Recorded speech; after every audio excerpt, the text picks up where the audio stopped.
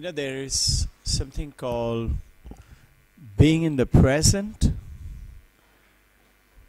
being now. Like, supposing you've gone to a restaurant or you cooked something special at home. When you're going to eat it, you're at that moment on that plate, isn't it?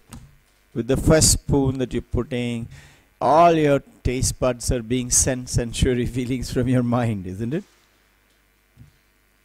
If you're driving, four wheeler, two wheeler, your mind is there with you right then. If it is not, there'll be problem.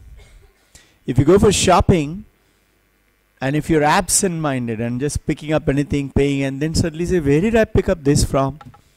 It has happened to some people.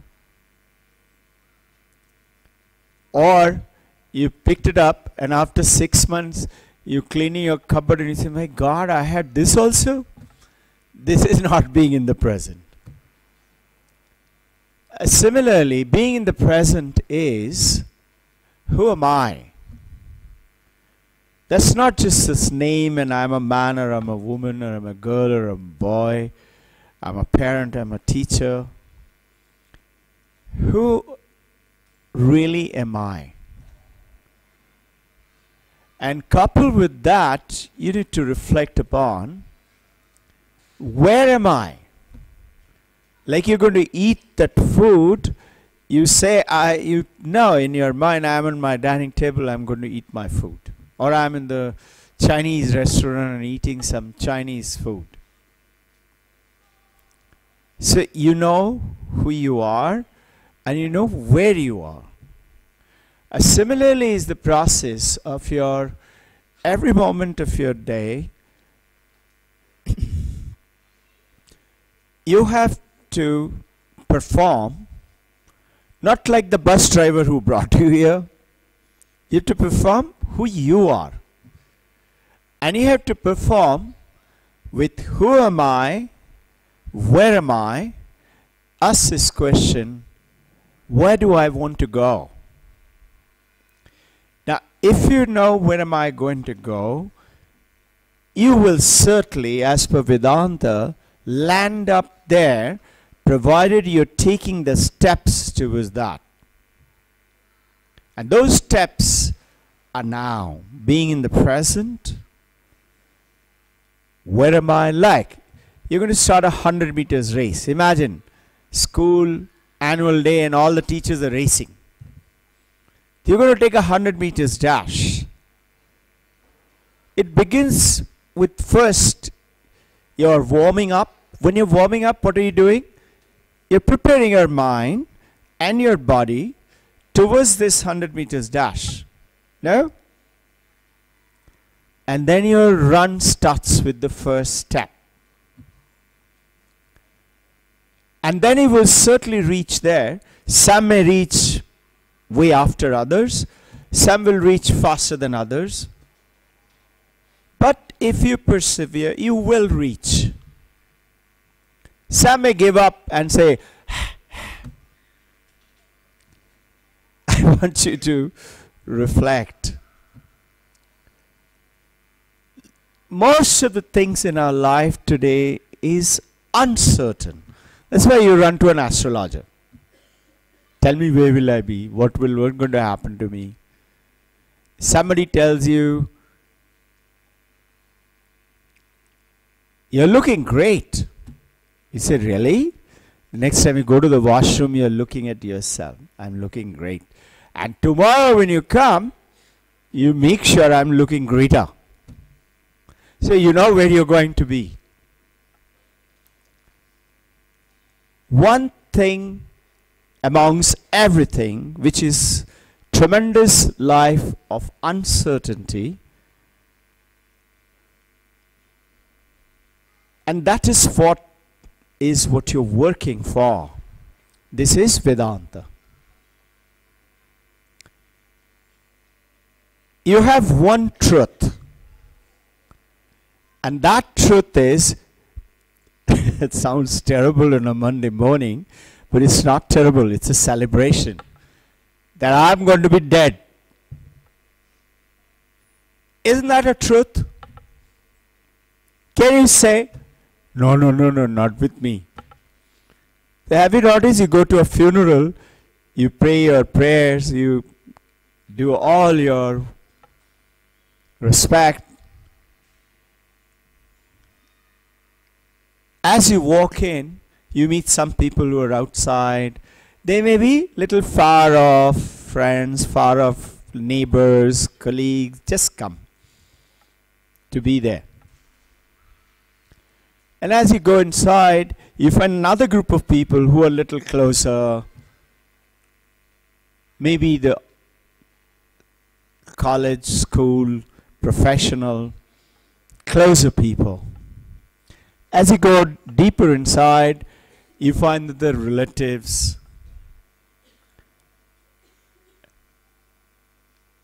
and then as you're passing through each one of the stage, you're hearing from them who was she, what was she, how was he.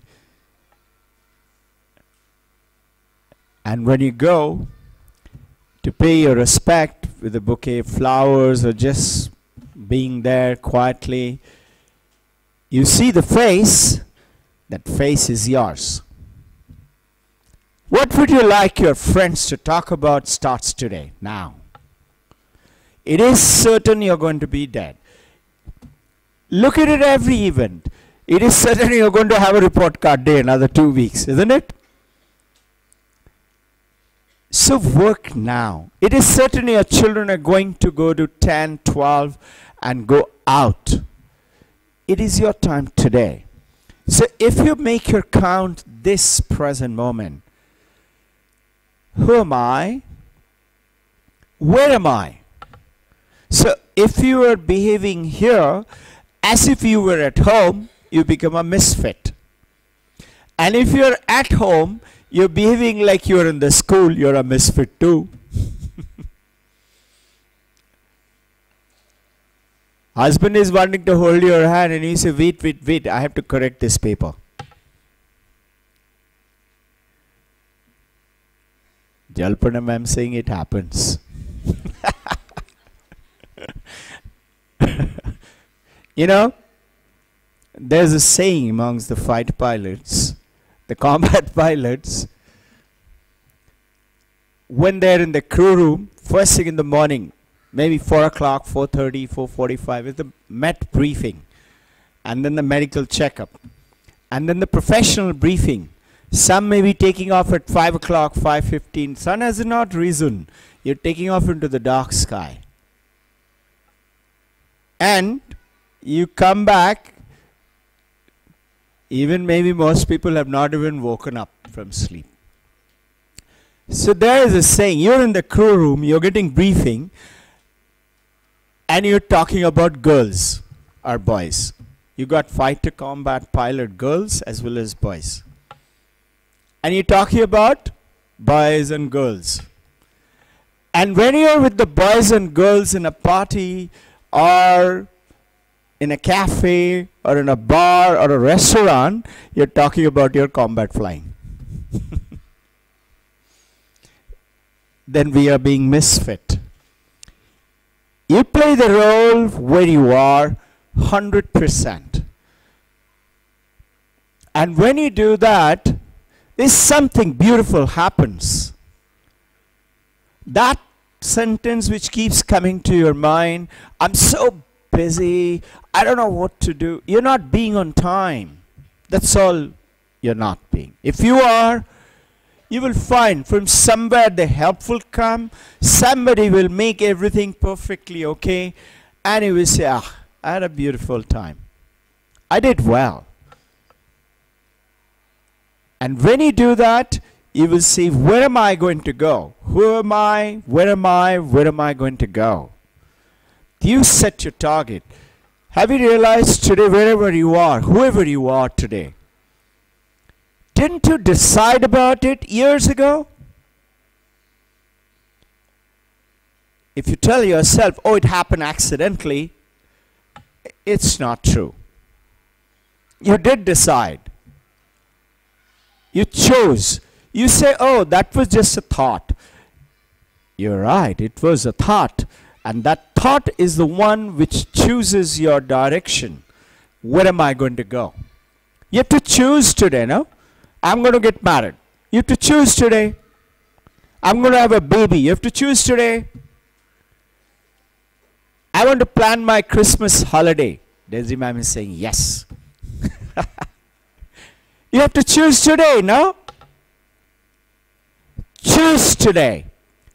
Where am I going to go? Would my people say along with me, whether I'm dead or not, wow, it was nice being with this person.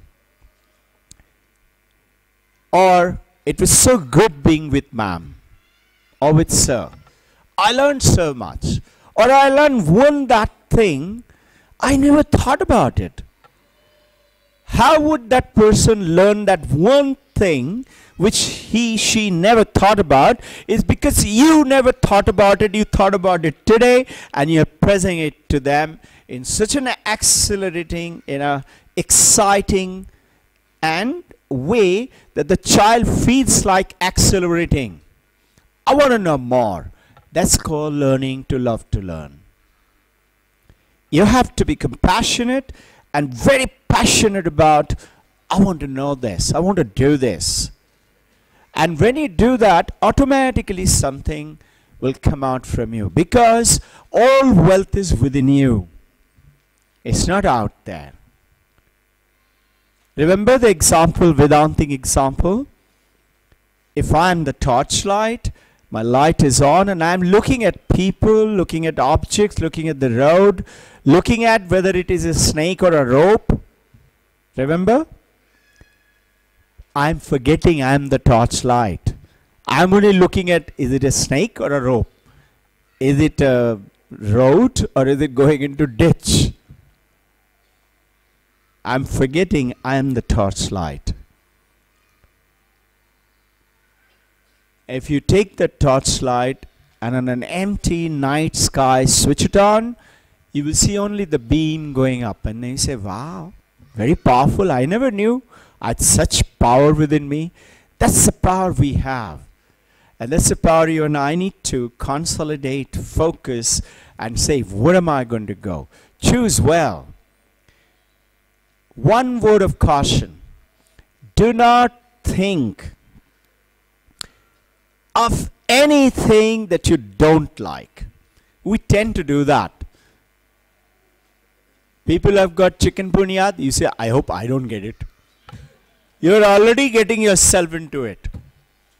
Conjunctivitis, oh my God, I don't want to look. I might get infected. You're already getting infected. Why? Because you're planting that seed in your mind. You go to say bye bye to or say hello to a patient who's maybe a relative or a far off places, somebody or a neighbor who's a cancer patient.